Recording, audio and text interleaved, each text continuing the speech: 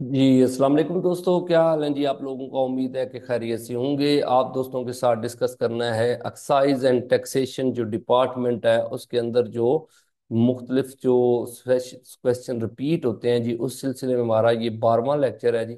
تو جو دوست یہ لیکچر سن رہے ہیں، ان ان دوستوں کو یہ بھی بتانا ضروری ہے کہ ہمارا سیشن سٹارٹ ہو چکا ہے۔ Zero three zero six seven five six two three five six پہ وہ واٹس ایپ کر کے ڈیٹیل لے سکتے ہیں جی۔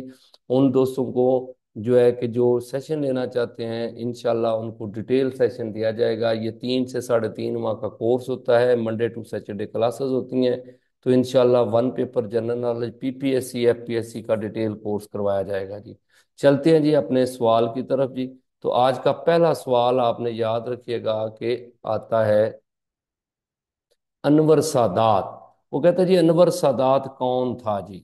تو ایک تو آپ نے یاد رکھیے گا کہ یہ ایجپٹ کی پرسنالٹی ہے جی اور تھرڈ پریزیڈنٹ ہے ایجپشین سٹیٹمنٹ ہے جی سٹیٹمنٹ اور تھرڈ پریزیڈنٹ ہے جی۔ یہ آپ نے یاد رکھیے گا کہ یہ پندرہ اکتوبر انیس سو ستر سے لے کے چھ اکتوبر انیس سو اکیاسی تک جو ہے اپنی موت تک پریزیڈنٹ رہا جس جی، کو اسیسینیٹ کیا گیا تھا۔ اب یاد رکھیے گا کہ انور سادات پیدا ہوا تھا پچیس دسمبر کو، انیس سو اٹھارہ میں، اور چھ اکتوبر کو اس کو اسیسینیٹ کیا گیا نائنٹین ایٹی ون میں جی۔ انور سادات کے دور میں کچھ وار، ایک وار ہوئی ہے جس کو یوم کپور وار بولا جاتا ہے جی۔ یہ یوم کپور وار جو ہے نا جی یہ آپ نے یاد رکھیے گا کہ مقدس دنوں میں لڑی گئی ہے جی۔ یہ چھ اکتوبر سے لے کے پچیس اکتوبر انیس سو تہتر تک جو ہے یہ لڑی گئی ہے جی۔ اور یہ جی جب مسلمانوں کا رمضان ہوتا ہے تو رمضان کی دس رمضان سے آگے مقدس ڈیز سٹارٹ ہوتے ہیں جیوز کے۔ تو یہ بیسیکلی جنگ رمضان میں لڑی گئی تھی۔ اس کی جو لوکیشن ہے نا جی، وہ آپ نے یاد رکھنا ہے گلان ہائٹس۔ گلان ہائٹس اور سینائے پیننسولا۔ اور سوئز کنال۔ اب یاد رکھیے گا کہ انیس سو ستاسٹھ کی جو وار ہے، نائنٹین سکسٹی سیون کی وار، اس میں سیریا کی گلان ہائٹس پہ قبضہ کر لیا تھا جی اسرائیل نے، اور سینائی پیننسولا پہ بھی قبضہ کر لیا تھا۔ تو اس وجہ سے یہ پھر بیٹل گراؤنڈ کی مین لوکیشن جو ہے نا، وہ بنی ہے جی۔ تو اس کے بعد اس جنگ میں کوئی فائدہ تو نہیں ہوا جی لیکن آپ نے یاد رکھیے گا کہ اس کے بعد انور سادات کا جو ہے نا وہ مائنڈ سیٹ چینج ہوا نائنٹین سیونٹی ایٹ اس نے ایک ایگریمنٹ کیا ہے کیمپ ڈیوڈ اکارڈ کے نام سے۔ کیمپ ڈیوڈ اکارڈ آپ نے یاد رکھیے گا nineteen seventy eight Camp David Accord جو ہے اس کے تحت آپ کو ہوتا ہے کسی نے اسرائیل کو ایکسیپٹ بھی کر لیا اور اس نے آگے وعدہ کیا کہ ہم نیکسٹ ٹائم انٹروین نہیں کریں گے اسرائیل کے اندر۔ تو اب یاد رکھیے گا کہ اس کو سیونٹی ایٹ میں نوبل پیس پرائز ملا ہے جی۔ یہ پہلا بندہ ہے، the first Muslim who got Nobel peace prize. تو یہ آپ نے یاد رکھیے گا جی۔ پھر نائنٹین سیونٹی نائن، اس نے آپ یاد رکھیے گا کہ اسرائیل کی پارلیمنٹ نیسٹ کو خطاب کیا تھا جی۔ تو مطلب یہ پہلا بندہ ہے جس نے مسلم ہے، جس نے اسرائیل کی پارلیمنٹ کو ایڈریس کیا جی۔ تو آپ یاد رکھیے گا کہ اخوان المسلمین ایک جماعت ہے جی یہاں پہ جو نائنٹین ٹونٹی ایٹ میں بنی تھی جی انہوں نے پھر اسیسینیٹ کر دیا انور سادات کو۔ یعنی کہ سیسینیشن جو ہے، اس کا الزام اخوان المسلمین پہ لگا تھا جی۔ نائنٹین ایٹی ون میں انور سادات کو اسیسینیٹ کیا گیا جی۔ تو یہ کچھ چیزیں تھیں جو آپ نے یاد رکھنی ہے جی انور سادات کے بارے میں جی اور یہ ایجپٹ کی پرسنالٹی ہے جی۔ اب میں لے کے چلتا ہوں آپ کو۔ اگلے سوال کی طرف۔ تو اگلا سوال ہے جی Data Ganj Bakhsh wrote number of books ان میں سے ایک کتاب آپ یاد رکھیے گا، بڑی مشہور ہے جی کشف الماجوب۔ کشف کا مطلب ہوتا ہے کھولنا۔ ماجوب ایسے راز جو چھپے ہوئے ہیں جی۔ تو حضرت علی بن عثمان حجویری، ان کا پورا نام آپ نے یاد رکھنا ہے، حضرت علی بن عثمان حجویری۔ حجویر جو ہے نا جی افغانستان کا یہ علاقہ ہے جی۔ حجویر۔ تو آپ یاد رکھیے گا کہ حجویر جو ہے، یہ آپ نے ذہن میں رکھے گا کہ افغانستان میں آتا ہے جی۔ اور حضرت داتا صاحب جو ہیں، یہ افغانستان میں پیدا ہوا۔ کچھ جگہوں پہ ان کی دس سو دس ڈیٹ آ رہی ہے اور کچھ میں دس سو نو مطلب ہے کہ دے رہا ہے برتھ ڈیٹ جو ہے۔ اور جو وصال ہے، وہ دس سو بہتر ہے جی۔ دس سو پینتیس میں یہ یہاں پہ آئے ہیں جی۔ آپ یاد رکھیے گا کہ دس سو پینتیس میں حضرت داتا گنج بخش جو ہے نا جی یہ لاہور مطلب آئے تھے۔ محمود کے بیٹے ہیں جو ہے نا جی مسعود غزنوی۔ ان کے ساتھ مطلب ہے کہ یہ آپ یاد رکھیے گا کہ یہ یہاں پہ آئے تھے جی۔ دس سو پینتیس میں لاہور۔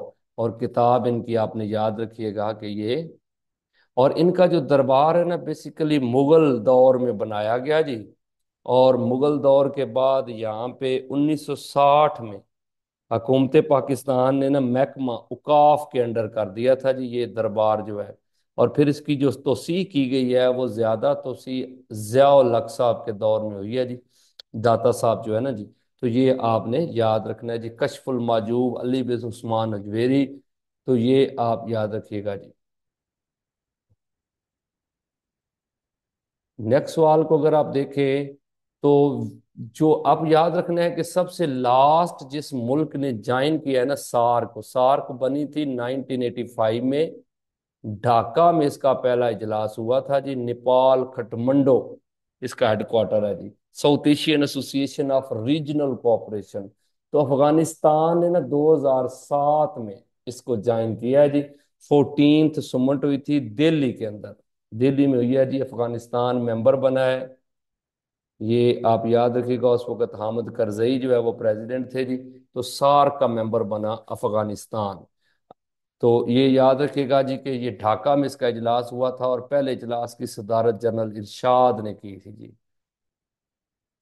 اور جو پرپوزل تھا نا، وہ جنرل ضیاء الرحمان کا تھا، لیکن جو ہے کہ صدارت جو ہے جنرل ارشاد نے کی ہے جی۔ اچھا جی اب یاد رکھیے گا کہ پاکستان جو ہے وہ ریپبلک بنا ہے جی تو یہ تو آپ کو پتہ ہی ہے کہ کب بنا تھا جی۔ پاکستان تیئیس مارچ کو، آپ کو پتا ہے پاکستان ڈے بھی منایا جاتا ہے جی۔ تو تیئیس مارچ انیس سو چھپن کو پاکستان ریپبلک بنا تھا جی۔ اور کیونکہ آپ نے یاد رکھیے گا کہ یہ نائنٹین ففٹی میں، ٹھیک ہے نا جی چھبیس جنوری نائنٹین ففٹی میں مطلب ہے کہ یہ انڈیا جو ہے وہ بن گیا تھا جی اور ہمیں ابھی ہمارا بہت زیادہ مسائل چل رہے تھے۔ انڈیا جو ہے وہ پہلے ہم سے ریپبلک بن گیا جی تو پھر ہم نے کوشش کی، اس میں آپ دیکھیں کہ کافی سارے پروسیس بھی ہیں جی۔ یہ بوگرا فارمولہ آیا، پھر اس کے بعد ون یونٹ آیا، اور ون یونٹ کی بیس پہ چودھری محمد علی پرائم منسٹر تھے۔ ان کے دور میں ہم ریپبلک بنے ہیں۔ اور ہمارا پہلا پریزیڈنٹ سکندر مرزا اور آپ کو پتا ہے پہلا جو کانسٹیٹیوشن تھا، دو سو چونتیس آرٹیکل تھے اور یونی کیمرل تھا، صرف اس میں سینٹ سینٹ نہیں تھی نیشنل اسمبلی تھی جی۔ تو یہ آگے دیکھیے گا جی کہ اگلا جو ہمارا سوال ہے جی کہ who headed the Shimla deputation آپ کو پتا ہے، ہم نے پچھلے سوال میں بڑا ڈیٹیل سر آغا خان کا ذکر کیا جی۔ سر آغا خان سلطان محمد شاہ، ان کا نام ہے جی۔ اور یہ آغا خان سوم ہے جی تیسرے آغا خان ہے جی۔ یہ ان کے، کیونکہ دادا نے یہ ٹائٹل دیا تھا جی آغا خان کا جی۔ یہ اسماعیلیہ فرقے سے ان کا تعلق ہے اور آغا خان نے لیڈ کیا تھا۔ شملہ ڈیپوٹیشن ہے جی یہ یکم اکتوبر انیس سو چھ میں مطلب یہ ڈیپوٹیشن جو ہے وہ جاتا ہے جی۔ اور اس میں آپ کو پتا ہے، پہلی دفعہ ڈیمانڈ کی تھی سیپریٹ الیکٹوریٹ کی۔ آغا خان جو ہے یہ سوئٹزرلینڈ میں ان کی ڈیتھ ہوئی تھی، لیکن اسوان شہر ہے ایجپٹ کا وہاں یہ دفن ہے جی۔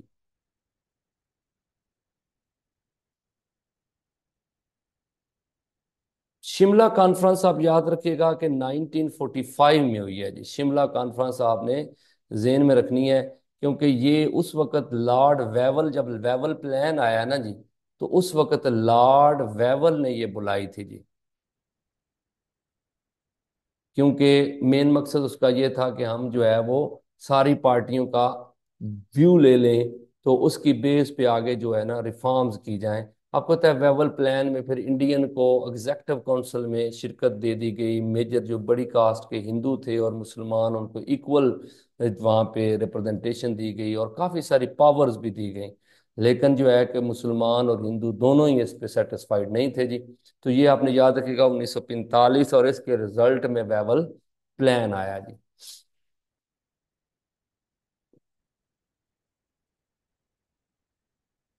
اچھا جی میڈ نیشنل محمدن ایسوسیشن آپ کو سر سید احمد خان کا ٹاپک جو ہے نا جی کافی ڈیٹیلڈ ہے جی اس پہ کچھ چیزیں آپ کو میں لکھواؤں گا۔ سر سید احمد خان نے یہ بنائی تھی محمدن ایجوکیشنل، پہلے نیشنل اس کا نام، پھر محمدن ایجوکیشنل کانفرنس، اس کو یاد کیا جاتا ہے جی۔ سر سید، آپ کو ہے سترہ اکتوبر اٹھارہ سو سترہ میں دہلی میں پیدا ہوئے تھے جی۔ اور آپ یاد رکھے گا کہ یہ سید فیملی سے ان کا تعلق ہے جی۔ اٹھارہ سو ستاون میں کوشچن آتا ہے کہ آپ کہاں پہ تھے جی؟ تو آپ جج تھے بجنور میں، بجنور ہے یو پی میں، جہاں پہ آپ نے جو گوری فیملیاں تھیں نا، ان کی کافی مدد بھی کی تھی جی۔ پھر آپ کو ہوتا ہے، اٹھارہ سو انسٹھ میں آپ نے مراد آباد میں جو ہے وہ ایک سکول بنایا تھا، جس کا نام گلشن سکول رکھا گیا۔ پھر اٹھارہ سو تریسٹھ میں غازی پور میں آپ نے ایک سکول بنایا، جس کا نام وکٹوریا سکول رکھا گیا جی۔ تو اسی طرح نائن، اٹھارہ سو چونسٹھ میں سائنٹیفک سوسائٹی بنائی۔ پھر آپ یاد رکھیے گا کہ اٹھارہ سو پچہتر میں آپ نے Aligarh M A O Muhammadan Anglo Oriental school, جو کہ آپ کو ہے ستر میں کیا بن گیا تھا جی کالج بن گیا جی۔ تو اب یاد رکھیے گا کہ اٹھارہ سو انہتر میں آپ انگلینڈ بھی گئے تھے جی۔ اور ستر میں آپ کا مطلب ہے کہ ایک رسالہ آتا ہے جس کو ہم بولتے ہیں تہذیب الاخلاق۔ تو سر سید کے اوپر تو بہت ڈیٹیل جو ہے نا جی وہ چیزیں ہیں جو ایڈ کی جا سکتی ہیں، لیکن ہم کیونکہ سوال ایک ہی ہے کہ محمدن ایجوکیشنل کانفرنس جو ہے یہ کب بنائی گئی؟ تو آپ کو وجہ پتہ ہے کیا ہے کہ اٹھارہ سو پچاسی میں بنی تھی کانگریس۔ اور کانگریس نے کہا تھا کہ جناب نا سر سید بھی شامل ہوں ہمارے ساتھ اور مسلمان بھی۔ تو سر سید نے لوگوں کو کہا تھا کہ keep away from the politics Hindu can utilize their potential for their own purpose تو آپ لوگ جو ہے نا ابھی الٹریٹ ہو تو آپ کیا کرو جی؟ ابھی آپ دور رہو کس سے جی؟ پالیٹکس سے آپ دور رہو۔ تو یہ آپ یاد رکھیے گا کہ All India Mohammedan Educational Conference جو ہے یہ اٹھارہ سو چھیاسی میں بنائی گئی ہے جی۔ اس کا مین مقصد تھا کہ جو لوگ پالیٹکس میں آنا چاہتے ہیں، ان کے لیے کہ وہ ان کو ایک پلیٹ فارم مہیا کیا جائے۔ اور اسی محمدن ایجوکیشن کانفرنس کا اجلاس ہو رہا تھا تیس دسمبر انیس سو چھ۔ جہاں پہ مسلم لیگ کی بنیاد رکھی گئی۔ تو یہ آپ نے یاد رکھنا ہے۔ سر سید نے بہت زیادہ کام کیا ہے جی۔ سر سید نے کافی ساری بکس لکھی ہیں۔ آپ کو ہوتا ہے کہ ایک کتاب ان کی بڑی دفعہ پیپر میں آ چکی ہے، اٹھارہ سو چھیالیس۔ اثار السنادید اثار السنادید کا آپ نے یاد رکھنا ہے جی اٹھارہ سو چھیالیس۔ یہ کتاب ہے جی۔ پھر آپ یاد رکھیے گا کہ سر سید احمد خان نے لائل محمدن انڈین ہے جی۔ اسی طرح رسالہ اقام تو عام اہل کتاب ہے جی۔ پھر بائبل کی تفسیر لکھی تھی، تبین الکلام۔ اسی طرح تہذیب الاخلاق۔ تو یہ کافی ساری چیزیں جو ہے نا وہ لکھی ہیں جی۔ ایسے خطبات احمدیہ جسے ہم بولتے ہیں، ایسے آن دی لائف آف محمد۔ یہ آپ یاد رکھیے گا سر سید احمد خان نے نا کتاب لکھی تھی، ایسے آن دی لائف آف محمد۔ یہ بیسیکلی جو ہے سر سید احمد خان نے نا جب یہ گئے تھے انگلینڈ، اٹھارہ سو ستر میں لکھی تھی جی۔ پھر سب سے جو اہم چیز ہے سر سید کی، وہ آپ نے یاد رکھنی ہے، ان کو اٹھارہ سو اٹھاسی میں سر کا خطاب دیا گیا تھا، سر سید احمد ہو گئے تھے جی۔ اور اٹھارہ سو انانوے میں انہیں ایڈن برگ یونیورسٹی جو ہے نا جی ایڈن برگ یونیورسٹی نے نا جی ان کو کیا دیا تھا جی؟ ان کو دیا تھا اعزازی ڈگری دی تھی اٹھارہ سو انانوے میں ایڈن برگ یونیورسٹی نے ایل ایل ڈی۔ تو یہ کافی ساری ڈیٹیل ہے جی لیکن میں نے کچھ چیزیں ایڈ کر دی ہیں جی تو آپ امید ہے کہ آپ کو فائدہ دیں گے جی۔ تو آگے اگلا سوال پہ جو اس پہ چلتے ہیں جی۔ جی یہ کوشچن جو ہے نا جی تھوڑا سا یہ والا جو ہے، یہ آپ نے نا اس کو کر لینا ہے، کیونکہ ایم ایس جو ہے نا جی یہ مسلم اسٹوڈنٹ فیڈریشن جو ہے، یہ میں نے آپ کو پہلے بھی بتایا تھا، یہ حمید نظامی کا نہیں آتا۔ قائد اعظم محمد علی جناح اور راجہ صاحب محمود آباد کا آتا ہے، کیونکہ نا وہ یہ چیز ایڈ کی گئی ہے، پاس پیپر میں نا، تو لیکن یہ تلافی ہے، یہ ٹھیک نہیں ہے۔ قائد اعظم محمد علی جناح، کیونکہ آپ کو پتا ہے انیس سو سینتیس میں بنیاد رکھی گئی تھی، Muslim student All India Muslim Student Federation جو ہے، اس کی تو آپ نے یاد رکھے گا کہ انیس سو سینتیس میں ہے اور اس کا دو آتے ہیں نام قائد اعظم محمد علی جناح اور اس کے ساتھ راجہ صاحب محمود آباد۔ جی نیکسٹ دیکھیے گا جی۔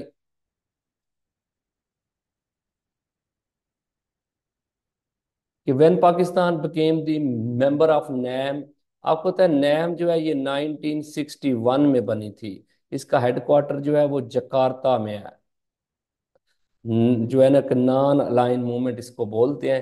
اور کیونکہ پاکستان پہلے سینٹو اور سیٹو کا ممبر تھا جی تو اس کے بعد پھر جو ہے نا نائنٹین سیونٹی نائن میں پاکستان نے جائن کیا ہے۔ یہ جو ہے نا کہ نیم جو ہے۔